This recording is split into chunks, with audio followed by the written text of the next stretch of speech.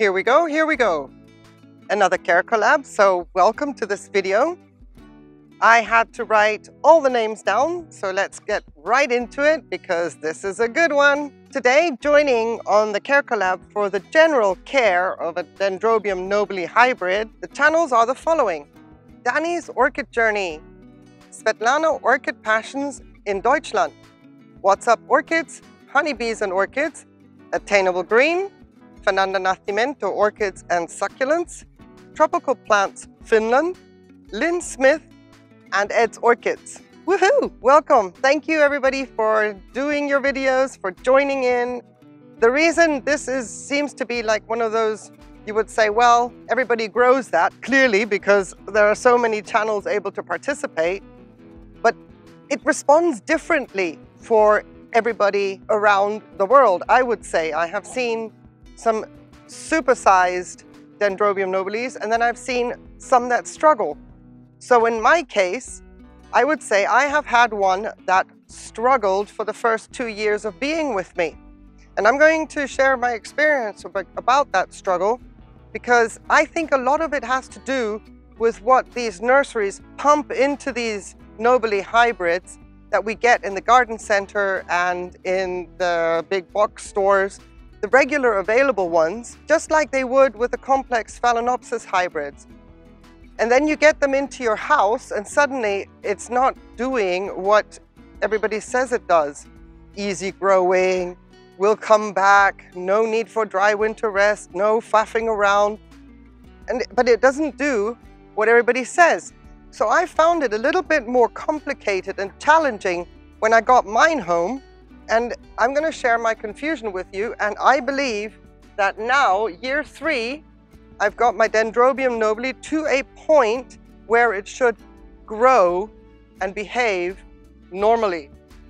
So what do I mean by normally? Well, to my understanding, a Dendrobium nobile hybrid grows new growths at the base of every cane for the next season that you pump full of lots of fertilizer, lots of water while it grows so that you can get the similar sized canes as previously.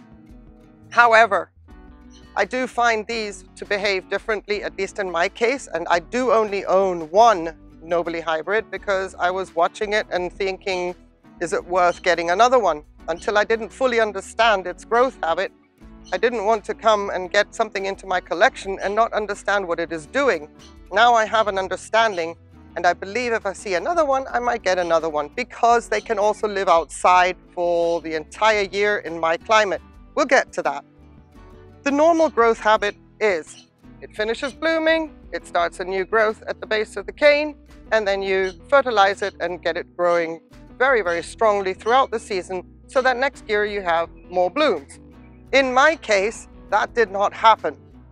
So I got this in the winter of 18 and then it bloomed out of season. But the subsequent growths that I got on mine were keikis, five of them in total. That's the little ones you see down here in the pot, the ones without the leaves on them. I plonked them back into the pot because I've got space and I thought, well, why not? Wasn't expecting anything else and I just thought maybe my orchid is, you know, diseased, garden center, who knows. Having said that, those keikis bloomed and they looked really bizarre because all the blooms were down here as opposed to upright in a cane and it looked like a bunch of flowers that had been dumped into the trash can with all the blooms here and then the naked canes sticking up. So that was my season of 20, my blooming show of my nobile. However, now comes the season, the growing season of 20. And I'm expecting wonderful new growths at the base of all my keikis.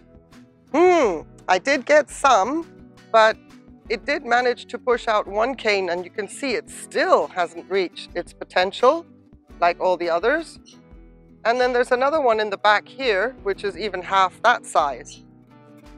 Why am I saying all this? Well, if you have one and it is not performing for you as you would normally expect it to, supposedly easy growers, I believe strongly that there's a lot of acclimating that these orchids have to do when they come into our home because where they are cultivated in their perfect environment in a nursery, they are pumped full of hormones, in or and they have a cycle with regards to how cold, how much light in order to set up blooming for the right time of selling, be it during the winter as gifts or during, you know, early spring like now. Either way, however they plan to do it, the orchid is completely out of cycle most of the time when you bring it into your home. So when it starts to grow keikis at a rate of knots, I would say panic not. It is just the orchid in stress doing what it does in order to then hopefully survive. So in the season of 20, I then did get a new growth at the base of one keiki, which is this one, and the base of another keiki in the back here. Here's a keiki there, which is this cane. And then I had a couple of growths in the front on another keiki, which actually died off because here comes the pest issue. In my environment, the mealybugs love these soft, beautiful, yummy salad looking like leaves. I have to be very careful. I can't go in with my alcohol spray just random. That's what I did and I rotted that growth off. So I have to be very careful and very vigilant that these growths now for this season, starting at the base, will finally be the ones in year three to reach the size of the canes it came with. There are different kinds of Dendrobium nobile hybrids, obviously. Some of them have canes double the size of mine. This is a more compact, smaller kind, which I much prefer. You know, I mean, I do have space in the winter, but not in the summer so much because everybody's outside in the summer and they still need to be protected. So let's go to the temperature and, and, the climate. Being in southern Spain, I have a very mild winter. For me, it's far too cold, but let's just say it's mild. I never go down to freezing. And this Nobile hybrid can take the temperatures all the way down to 5 degrees Celsius. I don't ever stop watering. It lives outside, it is not protected. When it rains, it gets watered. The only thing I don't do during the winter is fertilize it because clearly there's nothing going on and the orchid is not dormant as so to say, but there is no need to fertilize if there are no new growths. But she gets watered a lot. I do get sometimes rain showers of three to four days. And then if I let the pot stand out in the bright sun because I leave her in full light during the winter, then I will always water the pot and keep the reservoir at least halfway filled with water. Excuse the stuff down there. So this reservoir is not quite full and you can see the, the rim of the green. That is the winter level.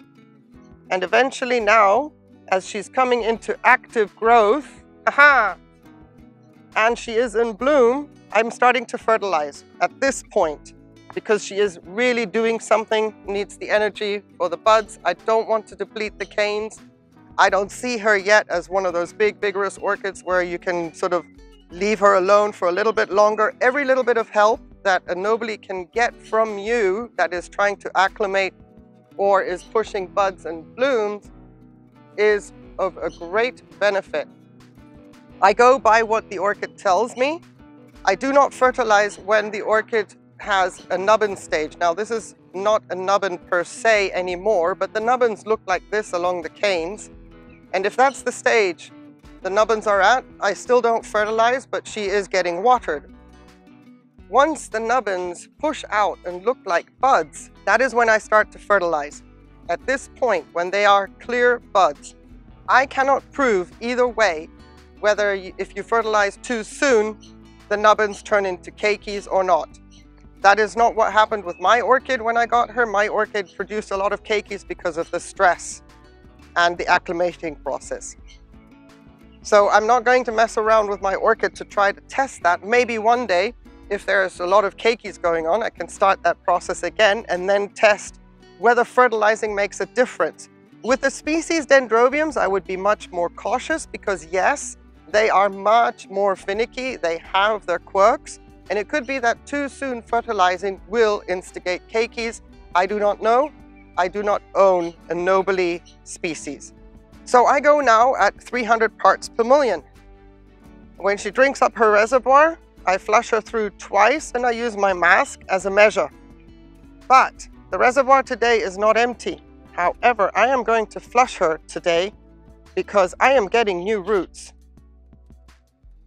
And I don't want my top dry layer there of the leca to start sucking any kind of juices out of the new roots. I don't know if you can see it, but there's a root tip there.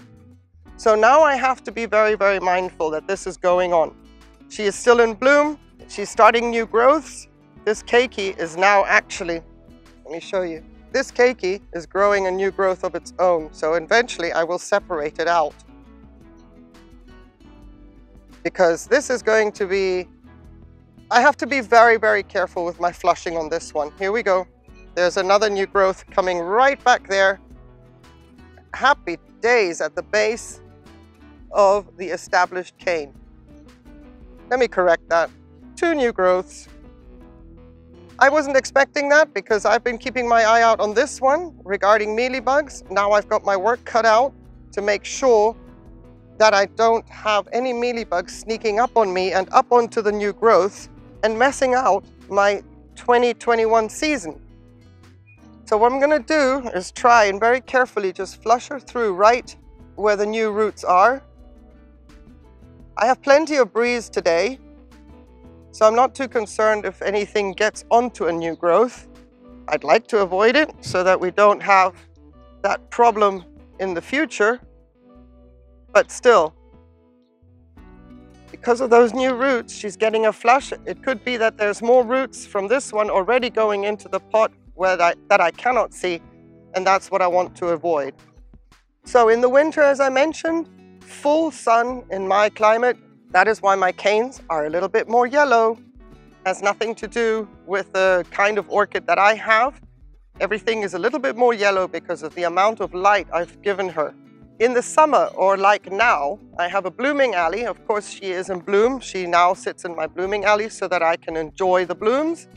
But that is also her forever place during the summer because of the hot, hot winds that I have that would easily dry out and burn little growths like this to a crisp. And I want to avoid that.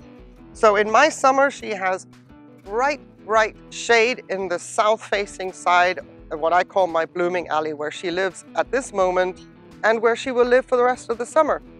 Once the temperatures then get a little bit cooler again and the sun angle is a bit lower in the sky, she goes back out onto the east side on the corner of the terrace table there where the sun, from sunrise to sunset, is where she gets her light. That is about six to seven hours a day in winter when the sun shines in winter, and we do get that quite a lot down here. So my issue here is this year to see that I get canes that surpass this one.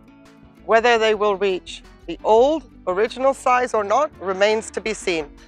But that is the plan and that's what I would like to see happening. And then I am certain that the majority of things that go wrong with the Dendrobium nobile type that we can find so readily in our big box stores the garden centers, I am certain that the quirks that they have as to why they're not performing or doing well is the entire rigmarole of having to get away from the hormones and the acclimating process. It's not that straightforward with these guys. Once they have their mojo and they like it where you are, the rest is just simple, easy going and straightforward. Oh, let me just touch upon the fragrance.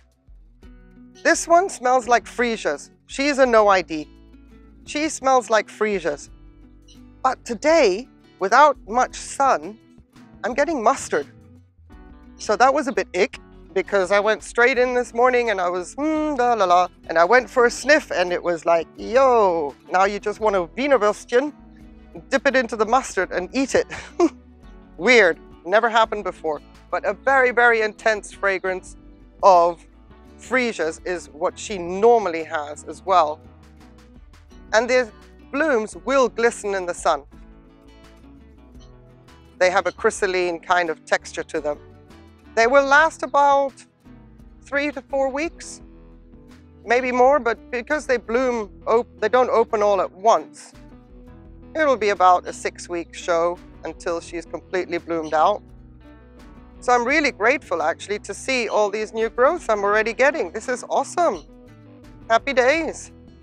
We'll keep her nicely fed and then we'll see if the quirks I'm talking about apply to this one, and I do believe so. I strongly believe that this is all about the quirkiness of getting out the hormones that are pumped into these orchids that are so commercially readily available.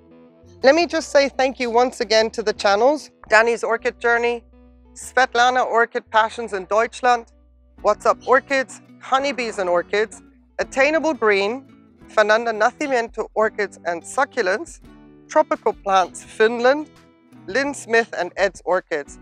Thank you everybody for taking the time to do your videos, to upload them, and then sharing your growing experience with these commercially readily available hybrids that are supposedly super easy to grow, but will give you a headache, in my opinion, from Jump Street when they arrive to your home. Have yourselves a wonderful day. Thank you very, very much for watching. I hope to see you in the next video. Please stay safe and take care. Bye.